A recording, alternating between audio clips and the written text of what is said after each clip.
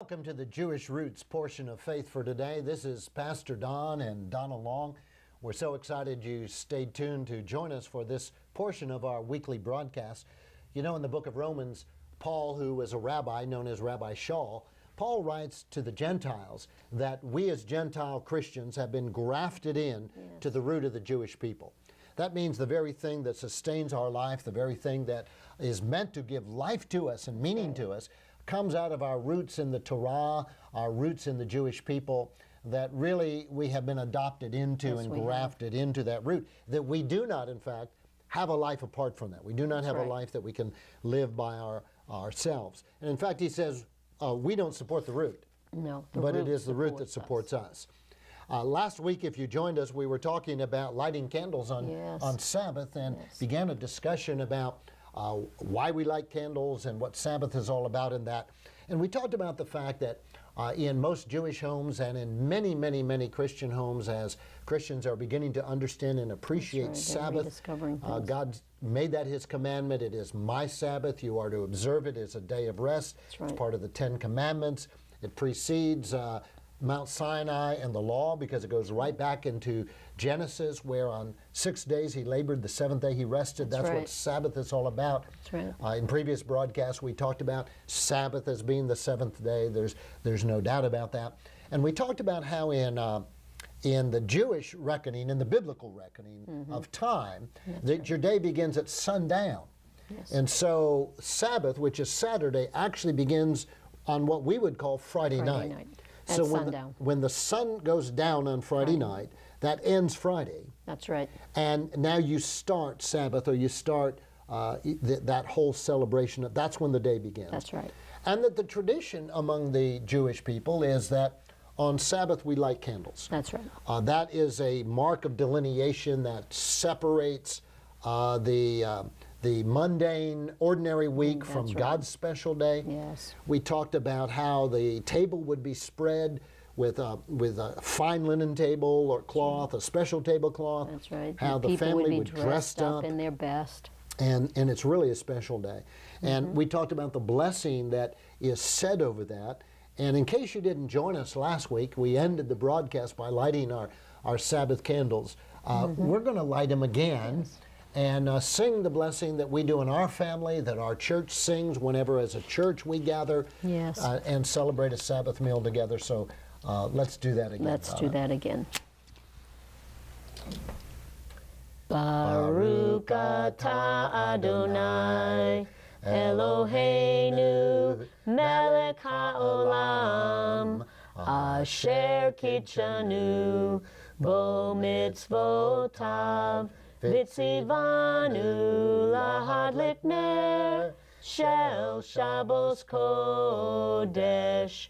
Blessed are you, Lord our God, King of the universe, who has sanctified us with your commandments, and in whose honor we kindle the light of the holy Shabbat.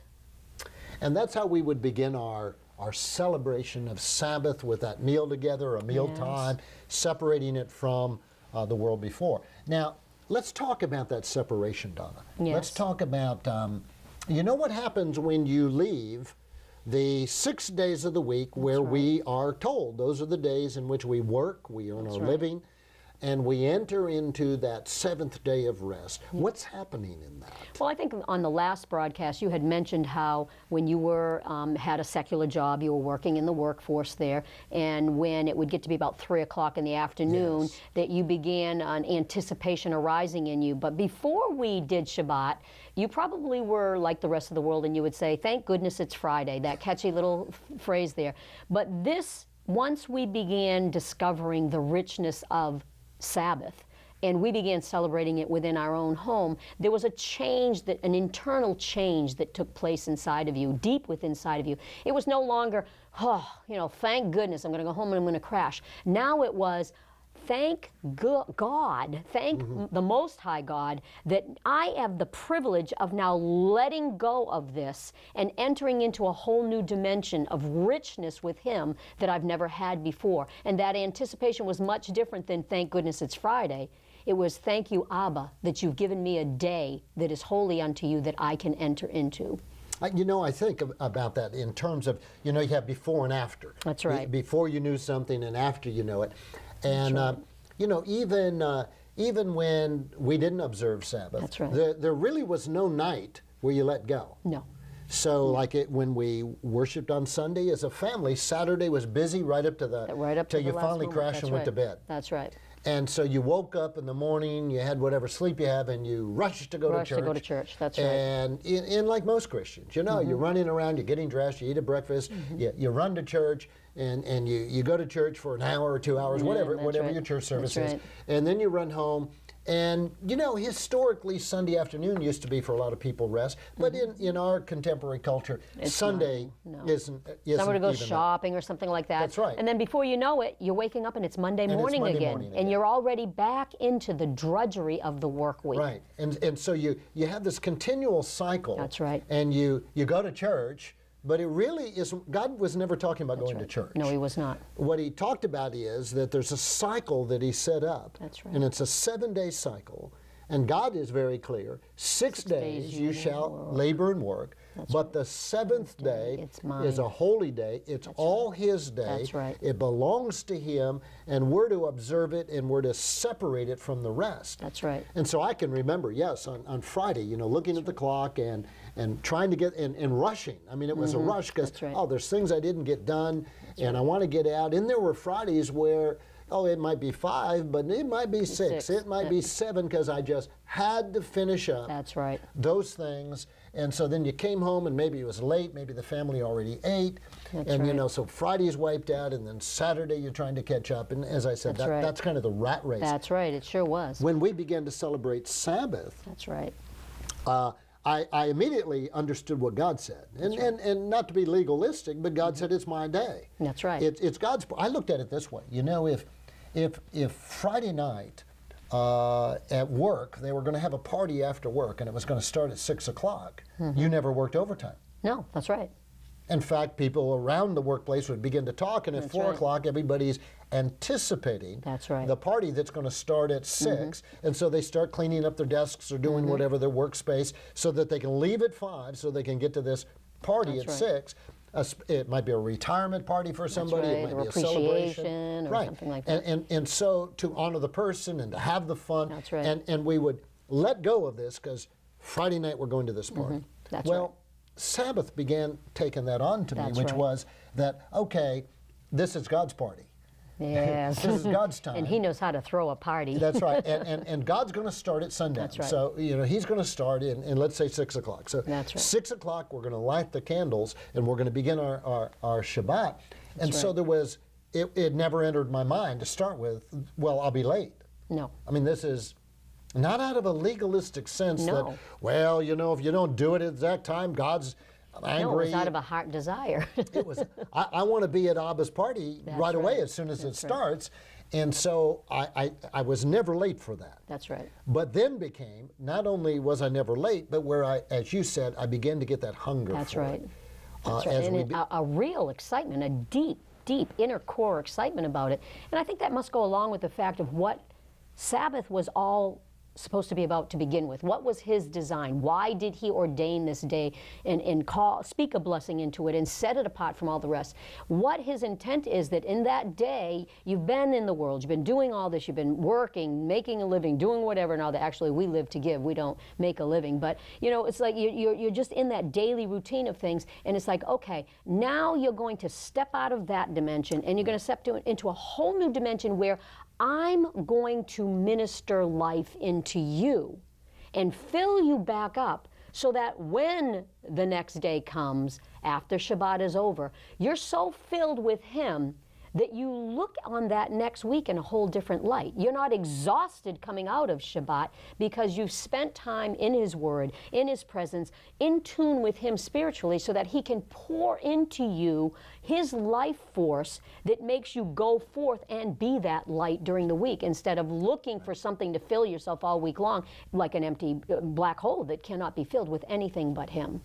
You, you know, we talk about moeds, and we've had that discussion here before that, that moeds are God's appointed times. That's right. And we talked about uh, Passover, and we've talked about Pentecost, and we talked about tabernacles, and, right. and we just came through uh, celebrating Hanukkah. And, and, and moeds of God, when God sets a, aside time uh, where He puts His blessing on that That's time. right.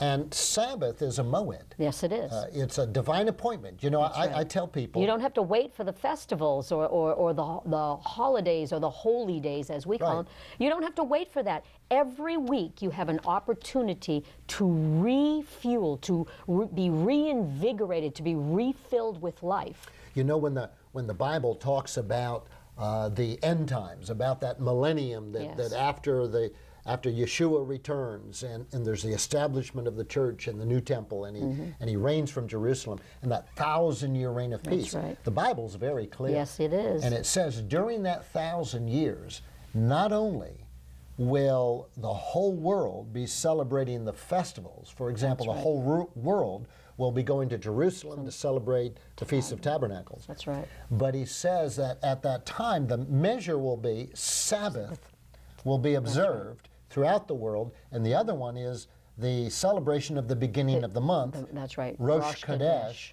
uh, the new moon right. celebration. That's That right. Mm-hmm. Interestingly, both those things, the Bible says, will be celebrated will be. throughout eternity, and those are two things that Constantine, Constantine tried got to out wipe of the out, church. tried to wipe it right out. And the Greeks did, didn't they? Right. On those so, so as as did. whenever whenever right when the Greeks took over during the period During before the Maccabees. Maccabees, Yep. uh, th- th- they wanted the to very things they were they, trying they to said wipe we're not going to let you celebrate Sabbath, and we're, not going to let you celebrate the, the, new Rosh moon. Chodesh. And Constantine, same thing. When he came in and That's took over the church, it's now the official church of the empire. That's right. But you cannot celebrate Sabbath, and you cannot celebrate. And you, and you have to stop and think, why? They aren't going to just choose insignificant things to wipe out. There had to have been a great significance in Shabbat, in Sabbath, for them to be threatened by it enough That's that they have to wipe out every part of it. right. And you would be um, greatly punished Right. if you did, if you were found celebrating Shabbat Right. or the Rosh Chodesh. So, so, so in that injection, then you Mm-hmm. had the the injection of the day of the sun. You have right. Mm-hmm. Sunday, which we all know Constantine was a worshiper of the Yes, sun. he was. Now, to be sure, the church couldn't just live with that, so they had to say, well, that was the day of the resurrection, and, and so on and so forth, and, and even that might be a, a questionable Mm-hmm. That's thing. But, very questionable, but, yes. but we what we know is that wherever the church moved, what it did is it violated the Sabbath and, and the new moon festival. That's right. And and I like it. I tell people this way. You know, my birthday is is May 16th, Mm-hmm. and so I- I say I'm going to have my birthday party on my birthday, May 16th. That's right. And you show up on May 18th. Mm-hmm. And you say, well, but we've decided to celebrate your, your birthday on May 18th. Well, I don't care what you call it. That's right. May 18th isn't my Doesn't birthday. change the truth. Doesn't change the truth. Doesn't change the truth And so people will say, is. well, you know, Sunday is our Sabbath. No, Sunday's not a Sabbath. Sunday is the first day of the week. You, you can say Sunday is my day of worship if you want, Yeah, but, you it's, but you cannot call it your Sabbath. Right. You can worship on Sunday. That's right. This you is- can worship on Sunday. It's not about when you that. worship. It's what do you do with the Sabbath. That's right. His Sabbath. And, and some people, I think, uh, misunderstand that. They Yes. think that when we talk about honoring the Sabbath, well, you know, does that mean we can't worship? You can worship on You Sunday, worship Whenever Tuesday, you want. Wednesday, That's right. Thursday. But the question is, what do we do with God's command That's of the right. Sabbath? That's And right. what we found is that there is a blessing in that day. There is a, And an that if abundant blessing. We're just beginning to find the blessing, Right. and we've been at it a while. But it's like it's it's like a, a, a anything that's alive like that continues to grow, and it's like the more we uncover, the more we find there is to Right. uncover. So there's there's an anticipation. you know, I, there is. I I began to figure out very early that coming in and lighting the Sabbath candles did an interesting thing. That at the end of a normal work week, Monday through Friday, you come to the end of Friday, you're exhausted, and you carry that that weight of the world, that Mm-hmm. concern of the world, uh, all the negative things that happen during the week. You carry that into Friday evening. Mm-hmm. And so now you've got Friday evening and you go to bed and you're still tired from it and you don't really have a necessarily a restful night. Or maybe you do things to try to escape the week. That's right. But you mentioned earlier, Donna, that it's like another dimension. Yes, it is. Yes, That, it is. that now when when you don't wait till Saturday, you don't wait No. to Sunday. It starts according to God's time, Friday night. That's right. So with the lighting of the candles, it's like literally you take off of you That's right. uh, the weight, the concern, the issues, and you step into a time space That's right. It's his time. Space. that's his time space. It's actually out of time and space, really, because he's eternal. So there is no time and space in him. It's stepping into that. Um, out of the boundaries of time, I think, and into Him. It's He says, "Enter my rest." He always talks about that's a that's a ethereal thing that people have a difficult time grasping. But I think as we begin to under, uncover the truth of what Shabbat really holds, that we will begin having a, a larger capacity of understanding the spiritual concept of enter into my rest. And that's what we're beginning and- to understand. and when you, and it is a whole new dimension. well, and when you It is understand it- timeless. when you understand it, it is. We talk right. about that in a second here. Uh, when you understand it, then a lot of the understanding of our Jewish heritage. Mm-hmm. Uh, a lot of Christians will look at things Jews do and they say, "Well, that's legalism. That's whatever," you know. And and I, I don't meet a lot of Jews that are legalistic about it. There, There's a heart joy. That's there's right. a celebration. I look at. I look at Orthodox Jewish families who truly celebrate Sabbath, and for the whole family, it is just a delight. It is. It's And- great joy during that time. A- a- absolutely. And there are things that they cannot do. Now, be, they cannot do them because the Bible says don't do them. Mm-hmm. But, or, or their understanding says Their don't do them. understanding, right. But, but what it is, is all those do nots are, God could have just as well said, the reason you're not going to do those is because I don't want that world of six days Entering getting into into this this, world. That's So we don't get into financial transactions. That's right. We we don't go to the store on Sabbath. What? Well, we can't. We really want to, but we can't. No, we, no, don't. we don't want to. It, it's not behavior modification, it's heart transformation. Right. You step over a line and it just transforms the very desires, the deep desires of your heart. And it's, it's just a, a dimension that is just like so excellent. So, so we